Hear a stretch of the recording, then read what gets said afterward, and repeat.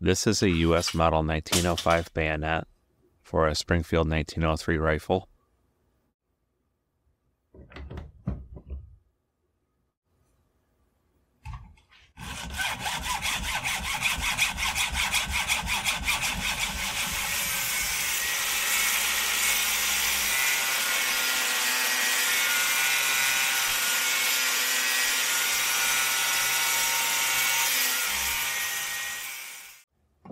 It's a replica, a pretty cheap one.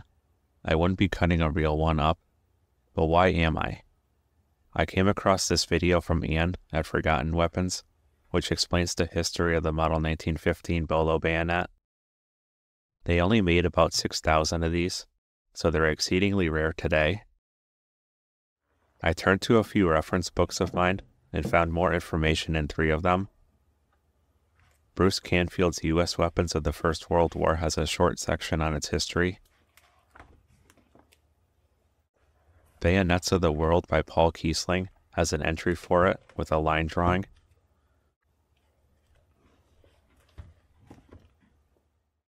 But the best information is in Brophy's 1903 Springfield book.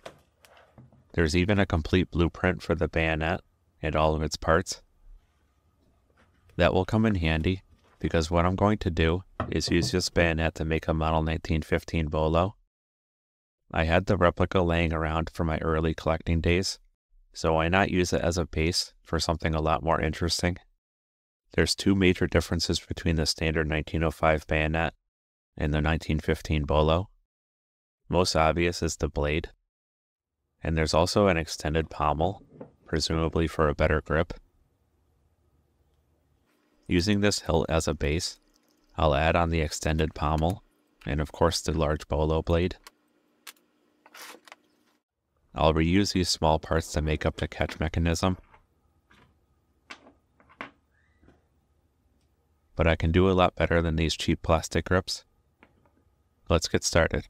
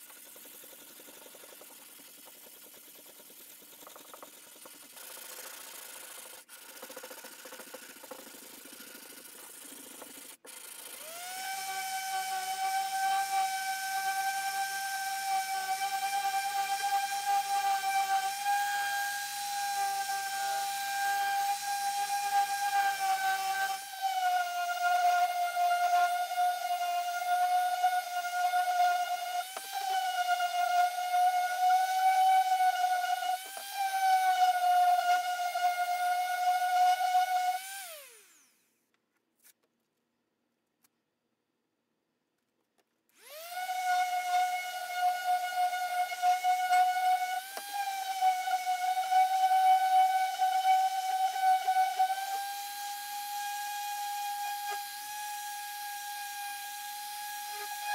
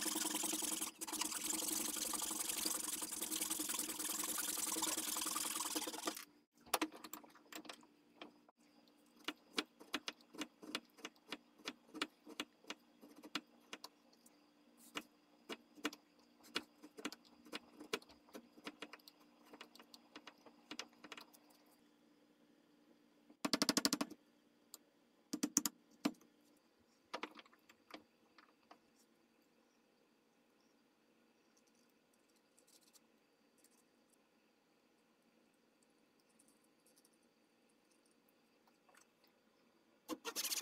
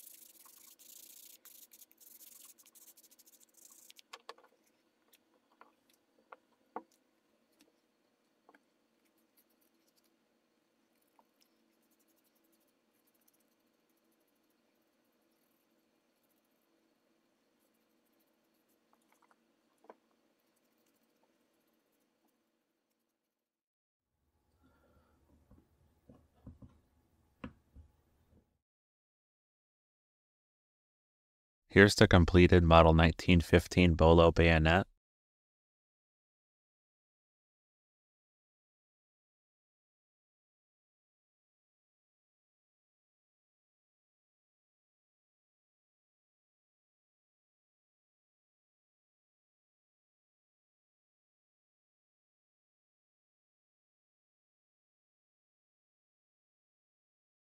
Now to test it out.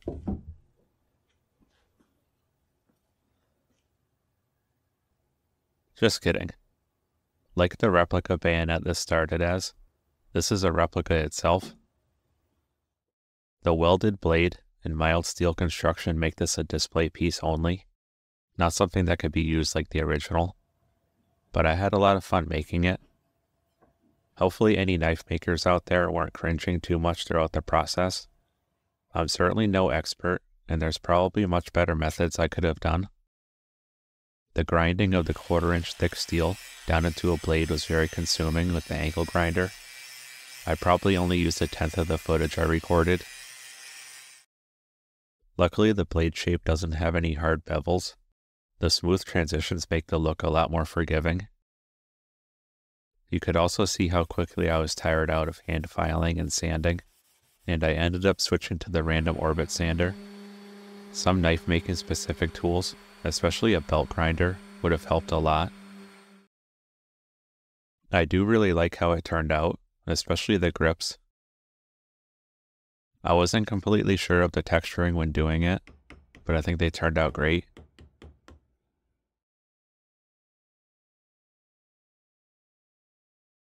As for the blade itself, the final finish isn't perfect, and there's still a lot of lines and scratches that just wouldn't come out. And there's a few voids left over where the welds were. But I'm not a perfectionist. These marks show that it was handmade. A real 1915 Bolo wouldn't have these, but I'm not trying to pass this off as such. That's why I left the fake markings here. What I do have is a nice display of a very rare bayonet to pair with my rifles. Thanks for watching.